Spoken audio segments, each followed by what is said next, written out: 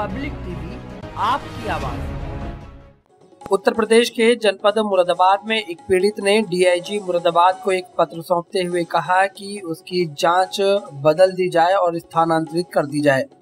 आपको बता दें कि थाना सिविल लाइंस की रिपोर्टिंग चौकी अगवानपुर के चौकी प्रभारी से जाँच का स्थानांतरण करने की मांग की गई है। पीड़ित चाँद खान निवासी बीएसएनएल टावर निकट मस्जिद वाली गली थाना पाकबड़ा मुरादाबाद के रहने वाले हैं। पीड़ित का कहना है कि उसके परिवार को जान से मारने की धमकियाँ आरोपियों के द्वारा दी जा रही हैं और जबरन फैसले का दबाव बनाया जा रहा है। पीड़ित ने डीआईजी मुरादाबाद को पत्र सौंपते हुए प्रार्थना पत्र में जाँच को स्थानांतरित करने की मांग की है। मेरा नाम डॉक्टर चाँद खान है।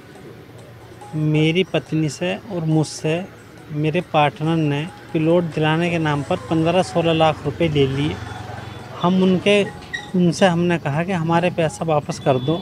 दो तीन बार मीटिंग हुई, पंचायत हुई, लेकिन उन्होंने नहीं दिया। हम उनके घर पर गए तो मुझे और मेरी पत्नी को तीसरी मंजिल पर, मुझे दूसरी मंजिल पर बंद करके मारा। मेरा बेटा था, वो नीचे ही रह गया था। दो तीन शाम के पाँच बजे सत्रह जनवरी को, सन 2024 बंद करके मारा। मेरा बेटा ने 112 नंबर पर डायल करके पुलिस बुला ली मेरे बेटे ने। पुलिस बुला ली दो गाड़ियाँ वहाँ पर पहुँची पुलिस की। पुलिस हमें कम से कम बड़ी मुश्किल से इतनी भीड़ में से दो ढाई घंटे में निकाल के ले गई हम सिविल लाइन्स थाने पहुँचे। सिविल लाइन्स थाने में कोतवाल साहब मिले नहीं उन्होंने कहा कि दो मत मर्डर हो गए हैं पास में तो वहाँ जाना पड़ रहा है। इसलिए ऐसे साहब हैं इनसे बता दो हमने उनसे बताई हमने लिखित में दिया। लिखित में देने के बावजूद हम चौदह दिन तक लगातार थाने की पैरोकारी करते रहे। ना मेडिकल हुआ, हमारी पत्नी की हड्डी में बाल आ गया है, पेटी बन रही है टी से इलाज चल रहा है। दो, फिर उसके बाद पंद्रह दिन बाद हमारी एफआईआर कायम हुई। फिर एफआईआर कायम होने के बाद एक सौ इकसठ का बयान हुआ दस दिन के बाद। फिर एक महीने के बाद, डेढ़ महीने के बाद चौंसठ कराया। दो महीने के बाद मेडिकल कराया। आइयो चौकी प्रभारी अगवानपुर रिपोर्टिंग चौकी प्रभारी मेघराज सिंह जो हैं, उन्होंने दो महीने बाद, और अगर हम फ़ोन करते थे तो कहते थे, मेरे पे 336 मुकदमे हैं, ऐसे जाने कितना मैं तुम्हारे जैसे। और उनके जो सहायक थे, उन्होंने विपक्षी पार्टी से मेरे सामने डेढ़ लाख रुपए लिए। एक तो उनमें से जेल चले गए पाँच हज़ार के उसमें। एक वहाँ पे मौजूद हैं। और मेरा सारा केस नील बटे नील करके, और जो टीएमयू का मेडिकल है, ना वो लिया, ना मेरा स्टेटमेंट लिया, ना मेरे बेटे का स्टेटमेंट लिया, और ना ही मेरे पैसों का स्टेटमेंट लिया, बिल्कुल भी।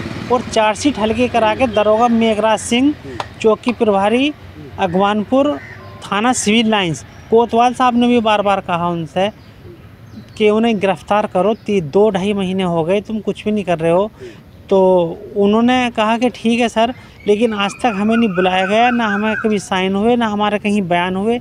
हम कप्तान साहब के पास गए, उनके पास जाने के बाद उन्होंने चार्जशीट लगा दी, हल्की करके कम धाराओं में।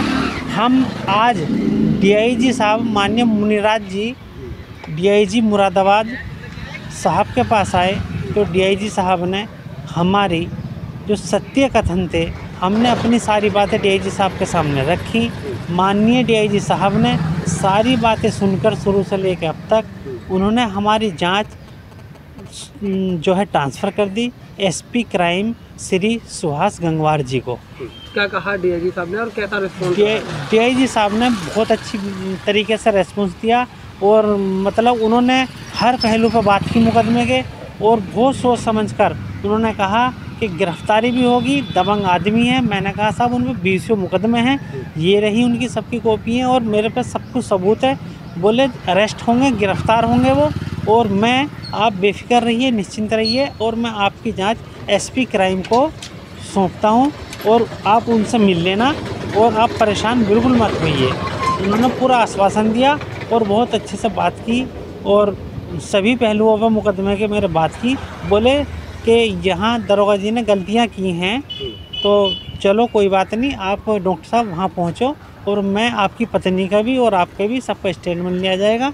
और आप वहाँ पहुँचो आपका निस्तारण होगा गिरफ़्तार होंगे आपको न्याय मिलेगा। संतुष्ट है डीआईजी साहब? जी मैं डीआईजी साहब से बहुत बहुत संतुष्ट उम्मीद है आप न्याय मिलेगा। जी मुझे उम्मीद है डीआईजी साहब जब तक हैं डीआईजी साहब बहुत अच्छे आदमी हैं और बहुत अच्छे तरीके से बात सुनते हैं। मुझे लग मुझे सौ परसेंट उम्मीद है कि हमें न्याय मिलेगा ज़रूर मिलेगा। पब्लिक टीवी आपकी आवाज़।